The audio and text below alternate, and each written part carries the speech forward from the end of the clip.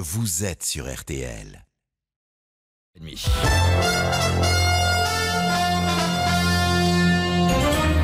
7h30, c'est le Tout Info sur RTL avec vous, Yann Boucherie. Bonjour. Bonjour Stéphane, bonjour à tous. Le Tout Info pour tout entendre de l'actualité de ce 7 novembre.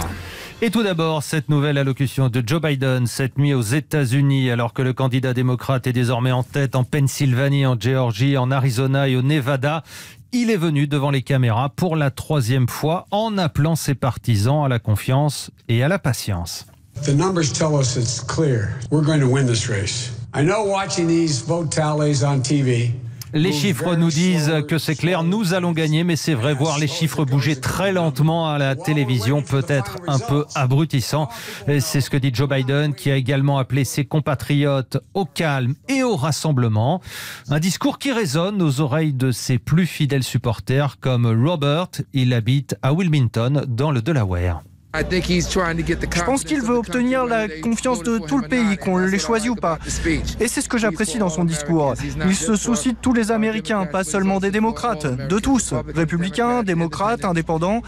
Et il a dit, soyez patients, laissez-nous du temps. C'est ça son travail, la tâche de tous les Américains. On essaie d'être là pour tout le monde. Et c'est ce qu'il essaie de faire. Il essaie de s'occuper de l'économie, de ce moment difficile à passer qu'est le Covid. Il n'a pas proclamé fermement sa victoire, mais il est patient et calme. Et j'ai confiance en lui pour nous mener vers la victoire. Robert, un supporter donc démocrate de Joe Biden, propos recueillis par Sinamir pour RTL. Le président Donald Trump, lui, a estimé hier soir que Joe Biden ne devrait pas revendiquer la victoire de façon illégitime. Je pourrais moi aussi la revendiquer. Les procédures judiciaires ne font que commencer, a tweeté le locataire de la Maison Blanche. En France, Yann, les cas de contamination au coronavirus poursuivent leur inexorable ascension. Au moins 60 400 cas positifs ont été comptabilisés en 24 heures selon Santé publique France qui prévient que ce chiffre pourtant record est sous-estimé en raison d'un embouteillage informatique créant des difficultés dans la remontée des résultats. L'épidémie a également fait 405 morts à l'hôpital et depuis mardi, 423 personnes sont décédées dans les établissements médico-sociaux, dont les EHPAD. Le coronavirus a ainsi causé près de 39 900 décès en France depuis le début de l'épidémie. Pour faire face à cette flambée, les transferts de patients se multiplient. 10 ont quitté les hôpitaux d'Auvergne-Rhône-Alpes. Pour ceux de Nancy et Strasbourg. L'Alsace durement éprouvée au printemps dernier peut cette fois soulager d'autres régions. Michel Galli est le directeur général des hôpitaux universitaires de Strasbourg. Les gens qui nous ont rendu service pour la première vague, ils étaient dans la même incertitude que nous. Ils ne savaient pas s'ils auraient euh, beaucoup de malades à gérer ou pas. Mais au moment M, ils avaient la possibilité d'aider. Et donc, euh, ils n'ont pas hésité. Je crois que c'est le même cas de figure aujourd'hui. On s'est mobilisé évidemment, on est, on est heureux de pouvoir le faire. Euh, je pense qu'on a pour l'instant encore des possibilités d'accueil euh, et on est en train d'étendre le nombre de lits de réanimation pour permettre euh, de rendre aux autres le service qu'on nous a rendu lors de la première vague. Michel Gallier, le directeur général des hôpitaux universitaires de Strasbourg au micro RTL de Yannick Collant. Inquiétude particulière aussi ce matin dans les EHPAD. Un foyer de 143 cas positifs a été détecté dans un établissement de Loche en Indre-et-Loire. 121 résidents et 22 personnels. Aucun cas grave selon l'ARS, mais les visites sont suspendues jusqu'à nouvel ordre. Alors, virus oblige, Yann, les évêques de France sont réunis en assemblée plénière jusqu'à demain dimanche, mais en visioconférence. Oui, et parmi les sujets débattus, celui de la pédophilie dans l'Église avec un rapport qui vient d'être publié. 320 victimes se sont manifestées ces deux dernières années. 153 prêtres et 36 religieux ont été mis en cause. Un fonds de solidarité avait aussi été évoqué il y a tout juste un an. En revanche, rien de nouveau à ce sujet. Les ecclésiastiques n'arrivent pas à trouver un accord sur ce geste financier ni à lui donner un nom. Monseigneur Dominique Blanchet est l'évêque de Belfort-Montbéliard comment et quel nom allons-nous lui donner pour qu'il soit bien communicable, pour que nous nous comprenions bien sur sa signification, c'est là euh, tout l'enjeu. Lorsque nous avons évoqué ce volet, je pense que nous n'avions pas conscience de la diversité de compréhension de cette démarche. Certaines euh, personnes victimes peuvent accueillir un geste de cette nature comme à la limite presque indécent. D'autres personnes peuvent peut-être espérer un tel geste sur lequel euh, nous devons encore continuer de travailler. Monseigneur Dominique euh, Blanchet, l'évêque de Belfort-Montbéliard, joint pour RTL par Marie Guerrier.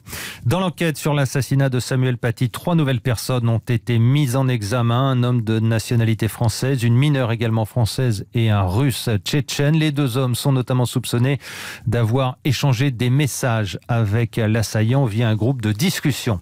Et puis hommage aujourd'hui à Nice aux victimes de l'attentat de la basilique de l'Assomption, alors que le terroriste a été transféré hier après-midi à Paris en avion et sous haute sécurité. La mémoire des trois personnes décédées sera honorée au cours d'une cérémonie nationale ce matin au sommet de la colline du château, euh, présidée par Jean Castex, le Premier ministre, un événement auquel assistera également l'ancien chef de l'État Nicolas Sarkozy. Le football, Yann, et l'Olympique de Marseille qui relève timidement la tête en Ligue 1. Oui, et trié 3-0 à Porto cette semaine en Ligue des Champions. L'OM s'est imposé hier 1-0 à Strasbourg grâce à un but de Morgan Sanson en deuxième période. L'OM pointe provisoirement à la quatrième place du championnat. Suite aujourd'hui de la dixième journée avec Bordeaux-Montpellier à 17h, puis PSG Rennes à 21h. Paris toujours privé de Neymar et Mbappé. En tennis, cette fois au tournoi de Bercy, malgré deux balles de match, Hugo Humbert s'est incliné en quart de finale devant Milos Raonic, 6-3, 3-6, 7-6.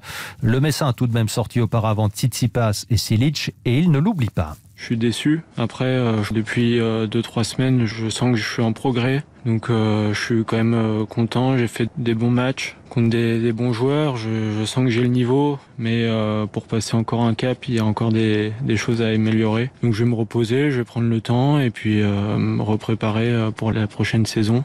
C'est bon, heureux rien que d'y penser. Hugo Humbert avec Isabelle Langer pour RTL. En rugby, un résultat Toulon a battu Brive 35 à 19 hier en ouverture de la huitième journée de top 14. Puis un rappel évidemment, le foot, on refait le match 18h30 et puis RTL Foot euh, ce soir, le PSG. C'est parfait Yann Boucherie, euh, RTL.fr à disposition pour toute l'actualité. Évidemment, vous parliez des États-Unis, euh, Yann, avec Joe Biden qui s'est exprimé tout à l'heure un petit peu avant 5 h du matin. Pour nous, nous allons gagner, voilà ce qu'il a dit. Alain de Chalvon, je me retourne vers vous, grand reporter international, on évalue la situation. Biden qui appelle au calme euh, les Américains, donc au rassemblement. Est-ce qu'on peut encore euh, craindre des débordements ou du chaos comme ça avait été annoncé? Écoutez, euh, c'est une des bonnes surprises quand même de cette mmh. élection, c'est que jusqu'à maintenant, pratiquement, il n'y a pas eu de, de troubles. Alors, c'est vrai qu'il y a des groupes armés, euh, même sérieusement armés, avec des armes de guerre, euh, qui existent aux États-Unis et qui sont des supporters de, de, Trump. On sait que dans euh, le premier débat qu'il y a eu, Trump avait dit à propos de ces groupes de se tenir prêts. Qu'est-ce que ça veut dire? Est-ce que sur un claquement de doigts de, Trump, ces gens-là vont se mettre à attaquer les permanences du Parti euh, démocrate ou Honnêtement, je ne pense pas. Hmm. Je, je, pense que quand même ça n'ira pas jusque-là, mais qu'il y ait quand même quelques violences, c'est toujours possible. Il y a une chose qui est, qui est marquante, hein, c'est la mobilisation des Américains pour ce scrutin présidentiel en cette année 2020. Ils ont voté massivement. Le record, je crois que c'était pas loin de 70 millions de voix pour euh, Obama.